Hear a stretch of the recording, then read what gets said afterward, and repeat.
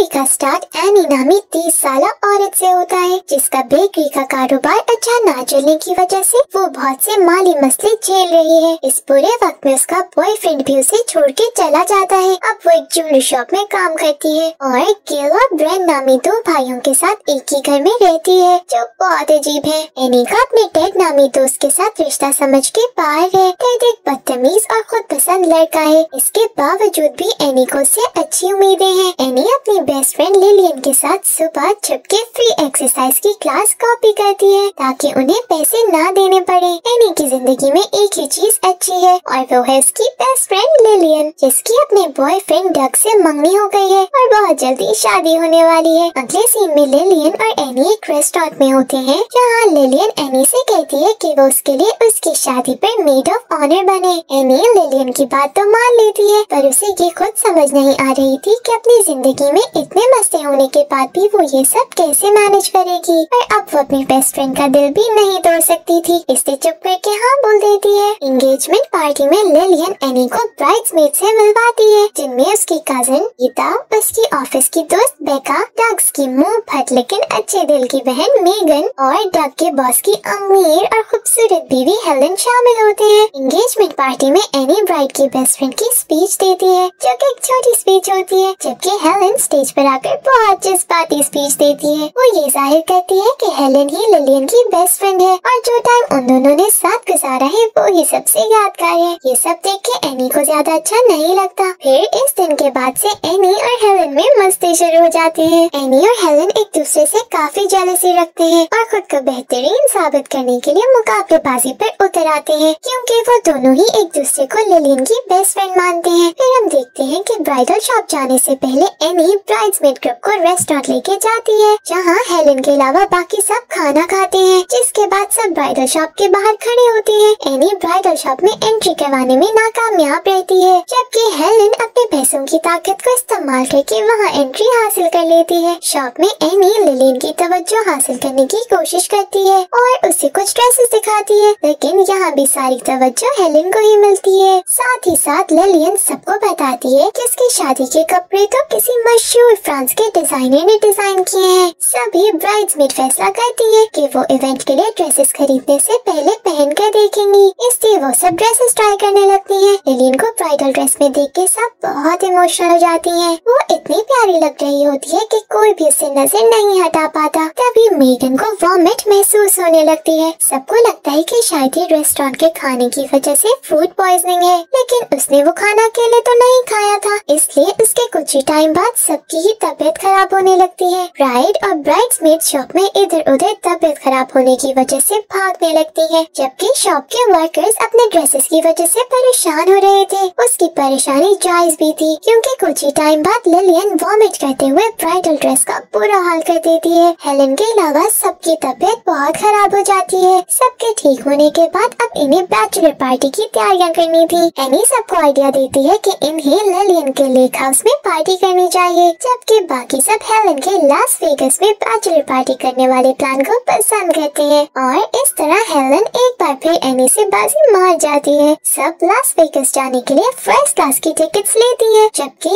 Any अकेली ही economy class में जाती है, क्योंकि उसके जो हालात है वो ये टिकट ले नहीं सकती और हेलन से मदद भी नहीं लेना चाहती थी। फ्लाइंग के डर को खत्म करने के लिए एनी हेलन की दी हुई दवाई और शरबत ले लेती है, जिससे एनी नशे में चली जाती है और अपनी सीट से उठ के प्लेन में इधर उधर घूमने लगती है। प्लेन का स्टाफ उसे ये सब करने से मना करता है तो उसे अपनी सीट पर वापस आने पर ख्वाब में चीज़ें नज़र आने लग जाती हैं। इस सब की वजह से वो पूरी तरह डर जाती है और उसके इस डर की वजह से प्लेन में मौजूद सब लोग घबरा के शोर मचाने लगते हैं। सिचुएशन हाथ से बाहर होने पर प्लेन को लास वेगस के बजाय कैस्पर सिटी में लैंड कर देते हैं। अब ये लास वेगस तो पहुँच नहीं पाए थे। इसलिए पार्टी का प्लान तो कैंसिल हो जाता है और सब ब्राइड्समेड वापस अपने अपने घर जाने के लिए निकल जाती है। एनी सब की वजह से शर्मिंदा होकर बाद में सबसे माफ़ी मांगती है। एनी की हरकतों की वजह से लिलियन तय कर लेती है कि ब्राइडल शावर और वेडिंग की सारी ज़िम्मेदारी अब हेलन के पास होनी चाहिए, ताकि शादी की तकरीब सही से हो सके। सीन शिफ्ट होता है जहाँ एनी गुस्से में हेलन की नकल उतारते हुए कार ड्राइव कर रही होती है। इतने में से पीछे पुलिस की कार दिखाई देती है और वो अपनी गाड़ी रोक देती है। नेथन नामी पुलिस ऑफिसर से कहता है कि वो नशे में गाड़ी चला रही है और उसकी गाड़ी की पीछे की लाइट्स भी खराब है। एनी रोड पर कुछ अजीब हरकतें करती है, जिससे नेथन एनी को पसंद करने लगता है और उसको फाइन भी नहीं करता। दोनों के बीच में दोस्ती हो जाती है। नेथन एनी की बेकरी का कस्टमर था। वो उसे बताता है कि वो उसके केक्स को बहुत पसंद करता है। नेथन उसे कहता है कि वो एक नई बेकरी खोल ले और अपने बेकिंग के शौक को जाया न करे। नेथन अगले दिन ही एनी को बेकिंग का कुछ सामान गिफ्ट करता है। लेकिन एनी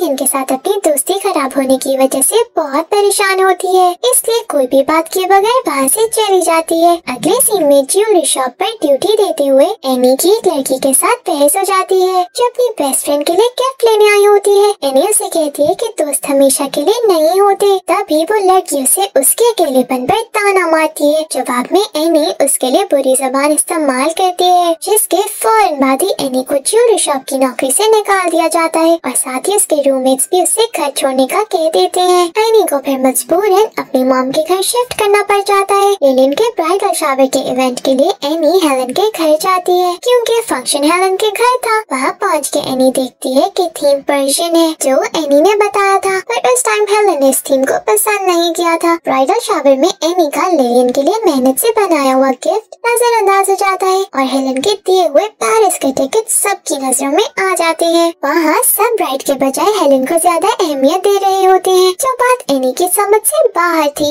ये देख के एनी को गुस्सा आ जाता है, और वो मुँह से उल्टा सीधा बड़बड़ाते हुए बाहर की सारी सजावट खराब कर देती है, जो देख के लिलियन की बस जाती है। और वो एनी को ताना मारती है की तुम मेरे लिए खुश नहीं हो, बल्कि तुम मेरी शादी के खूबसूरत लम्हात को जान के बिगाड़ रही हो। लिलियन से अब और बर्दाश्त नहीं होता, और वो एनी को पार्टी से निकाल देती है। एनी एक बार फिर बेदहानी से गाड़ी चला रही होती है और एक्सीडेंट करते करते बचती है। एक बार फिर नेथन उसे रोकता है और उसे बहुत डांटता है। एनी उसे बोलती है, उसका मजीद पिस्ती करवाने का बिल्कुल मूड नहीं। हेलन की वजह से उसका दिन वैसे ही बहुत बुरा था। नेथन जवाब में बोलता है कि हेलन की वजह से कुछ नहीं हुआ। ये इसलिए हुआ है क्योंकि उसकी गाड़ी की लाइट सही नहीं है। नेथन एनी को एहसास दिलाने की कोशिश करता है कि वो खुद ही अपनी ज़िंदगी को सीरियस नहीं लेती। उसे अंदाज़ा नहीं है कि वो किस तरह लोगों का दिल दुखाती है। इतने में टेड एनी को लेने वहाँ आ जाता है क्योंकि एनी ने खुद ही टेड को कॉल करके बुलाया होता है। टेड के आते ही नेथन वहाँ से गुस्से में चला जाता है। रास्ते में टेड एनी से फ्री होने की कोशिश करता है, लेकिन एनी का मूड बहुत खराब होता है और वो गाड़ी रुकवा कर वहाँ से चली जाती है। एनी बहुत दुख में होती है, इससे वो कुछ वक्त अकेले रहती है। कुछ देर बाद मेगन उसे मिलने आ जाती है और उसे एहसास दिलाती है कि वो दुनिया और लोगों को अपनी प्रॉब्लम्स के लिए कसूरवार ठहराना छोड़ दे और अपनी ज़िंदगी की डोरी अपने हाथ में ले। एनी इस बारे में सोचती है और उस पर अमल करना शुरू कर देती है। सबसे पहले वो अपनी गाड़ी सही कराती है। फिर वापस से बेकिंग करना शुरू कर देती है और नेथन की नाराज़गी दूर करने की कोशिशों में लग जाती है। एलियन की शादी के दिन हेलन एनी के घर आती है और उसे मदद की भीख मांगती है। वो बताती है कि लिलियन गायब हो गई है और वो ये सब अकेले नहीं संभाल पा रही। फिर वो दोनों गाड़ी में बैठ के लिलियन को ढूँढने निकल जाते हैं। रास्ते में हेलन रो रही होती है तो एनी उसे बताती है कि इस वक्त हेलन उसे मजीद बुरी लगी है, क्योंकि वो रोते हुए बहुत बुरी शक्लें बनाती है। उसके बाद हेलन ये इकरार करती है कि लोग उसे अपनी ज़िंदगी में इसलिए जगह देते हैं क्योंकि वो बहुत अमीर है और उनकी काम आती है, वरना उसका कोई सच्चा दोस्त नहीं है। सभी उससे मतलब के लिए साथ रखते हैं। हेलन के हस्बैंड की मसरूफियत की वजह से वो बहुत अकेला महसूस करती है। वो सिर्फ़ अपनी तनाई को दूर करने के लिए ये सब करती है। अगले सीन में रोड पर ही एनी और हेलन नेथन को मनाते हैं और काफ़ी कोशिशें करते हैं कि वो उनकी मदद के लिए राज़ी हो जाए और उनके साथ मिलकर लिलियन को ढूंढे। एनी जान के ओवर स्पीडिंग करती है हाथ छोड़ के गाड़ी चलाती है, ऊँची आवाज़ में गाने लगाती है और हाथ में शराब की बोतल पकड़ के गाड़ी चलाती है ताकि वो नेथन को अपनी तरफ़ अट्रैक्ट कर सके। आखिरकार नेथन उनकी मदद के लिए राज़ी हो जाता है और फिर वो तीनों मिलकर लिलियन को ढूँढने में लग जाते हैं और फाइनली लिलियन अपने ही घर से मिलती है, जहाँ वो परेशानी में बैठी होती है, क्योंकि शादी का एहसास उसे डरा रहा था और वो अपनी पुरानी ज़िंदगी और शहर छोड़ने के लिए तैयार नहीं हो पा रही थी। वहाँ एनी लिलियन को समझाती है और एक बार फिर मेड ऑफ़ ऑनर की ज़िम्मेदारी संभाल लेती है। शादी की तकरीब में ब्राइड्समेड की लाइन में एनी सबसे आगे खड़ी होती है। इतने में हेलन ऐलान करती है और लिलियन के पसंदीदा सिंगर्स को स्टेज पर बुलाती है, जिस पर एनी और हेलन की हल्की सी बहस हो जाती है। लेकिन बाद में सब तकरीब को एंजॉय करने लग जाते हैं। लिलियन को रुखसत करने का टाइम आ जाता है। सारी ब्राइड्समेड जज्बाती हो जाती हैं। खास तौर पे एनी जिसके लिलियन से बहुत अच्छी दोस्ती है। लिलियन अपने हस्बैंड के साथ गाड़ी में बैठ के वहाँ से निकल जाती है। और